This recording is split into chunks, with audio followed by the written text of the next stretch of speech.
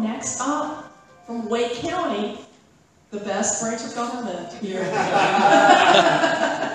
we have Bill Scanlon getting a little help from your friends and community input.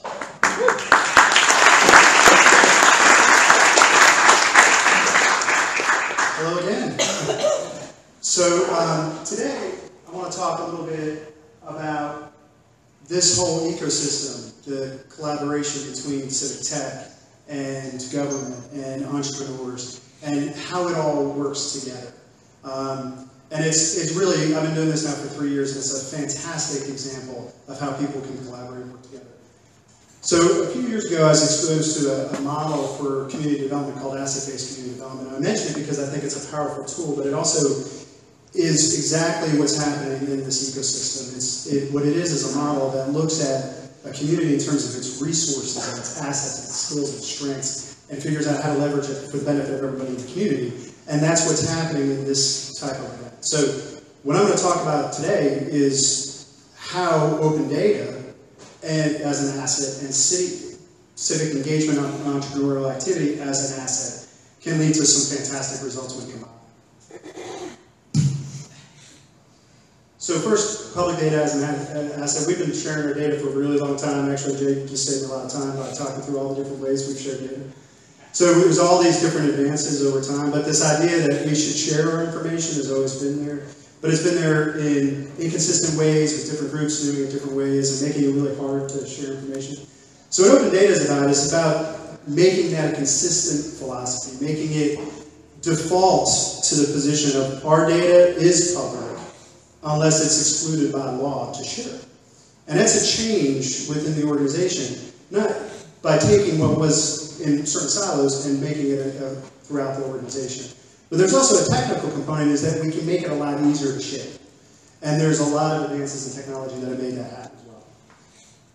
But useful data isn't all we're there for, because if it's not used, it's actually not useful. And so this is where civic tech and, and entrepreneurs and all of you in this room have a tremendous role to play. Because we don't have to share our data to use it ourselves. We can, we can make stuff with our data because we already have it. By exposing it to you and, let, and having you have events like this and brainstorm and solve problems, we, we take that data and make it even more useful.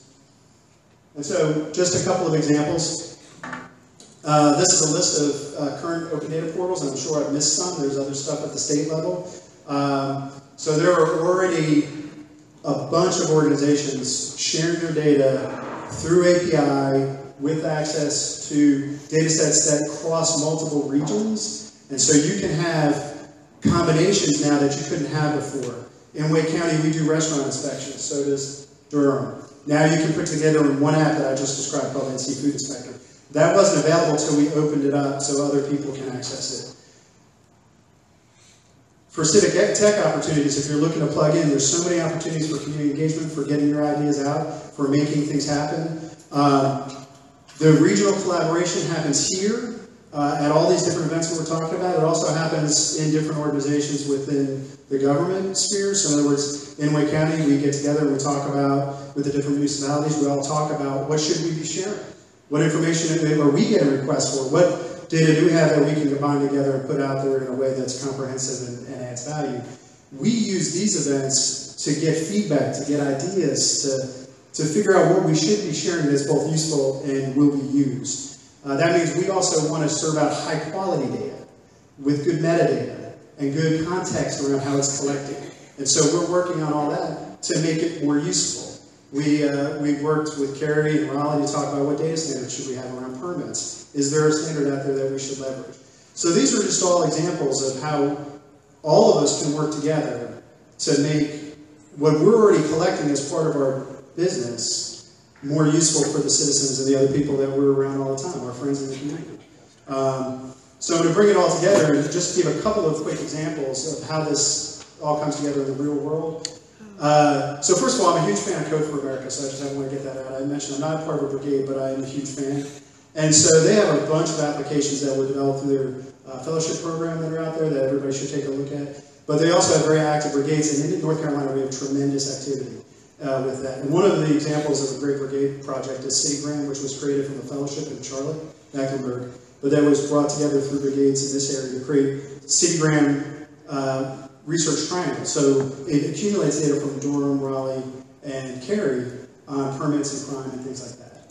Um, I already talked about NC Food Inspector and how that can bring together regional data. So we've learned in government, our citizens don't care what part of what jurisdiction we have. They want to have data where they want it, and, and they don't know who does what. So by bringing this all together, we can meet them where they are, and they can use these tools without even knowing necessarily what the source is. Uh, two private examples, Yelp and Waze. Uh, also, again, just partnering with these different groups to get our information out there. So, if you have any questions, uh, any ideas, I'll be here all weekend. I can only scratch the surface of what's being done in this space. But if you have any questions, let me know. Thank you.